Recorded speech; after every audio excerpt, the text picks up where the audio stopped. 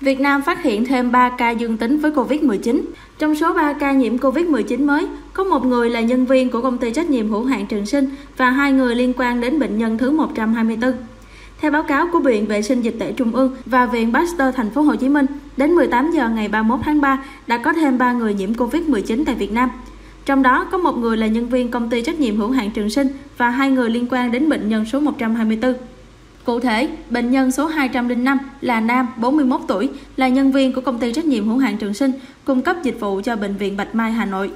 Bệnh nhân số 206 là nam, quốc tịch Việt Nam, 48 tuổi, địa chỉ tại phường An Phú, quận 2, thành phố Hồ Chí Minh.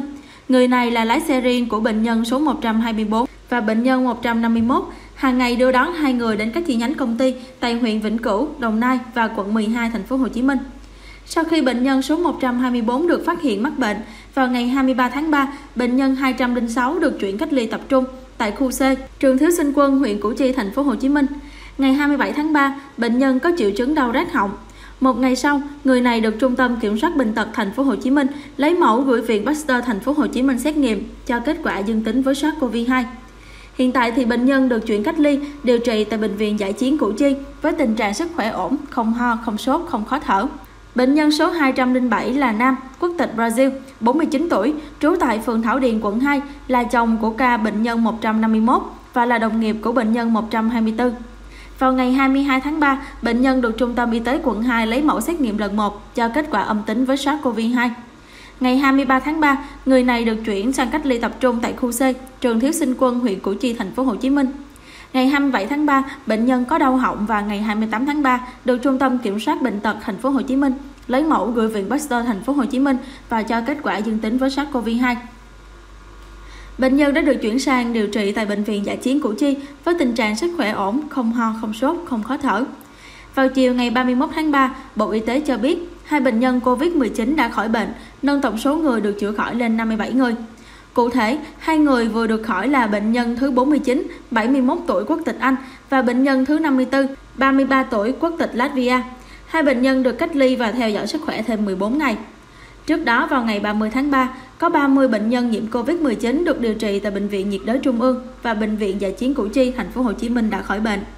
Theo thống kê của Bộ Y tế, đến chiều ngày 31 tháng 3, Việt Nam ghi nhận 207 ca nhiễm COVID-19, có 57 người đã khỏi bệnh. Các bệnh nhân còn lại điều trị tại 22 cơ sở y tế, 51 người có kết quả âm tính, đa số trong đó là có tình trạng sức khỏe ổn định. Cũng trong ngày 31 tháng 3, Thủ tướng yêu cầu thực hiện cách ly toàn xã hội trong vòng 15 ngày kể từ 0 giờ ngày 1 tháng 4. Theo nguyên tắc gia đình cách ly với gia đình, xã cách ly với xã. Ngày 31 tháng 3, Thủ tướng Nguyễn Xuân Phúc đã ký ban hành chỉ thị số 16 về việc thực hiện các biện pháp cấp bách phòng chống dịch COVID-19. Đây là chỉ thị thứ 6 liên tiếp được người đứng đầu chính phủ ban hành kể từ khi dịch COVID-19 xảy ra tại Việt Nam. Ở Việt Nam, số ca nhiễm COVID-19 đang tăng nhanh từng ngày và có nguy cơ cao lây nhiễm trong cộng đồng. Dự báo, dịch bệnh COVID-19 sẽ lây lan nhanh trên diện rộng, đe dọa nghiêm trọng đến tính mạng, sức khỏe con người và kinh tế xã hội của đất nước.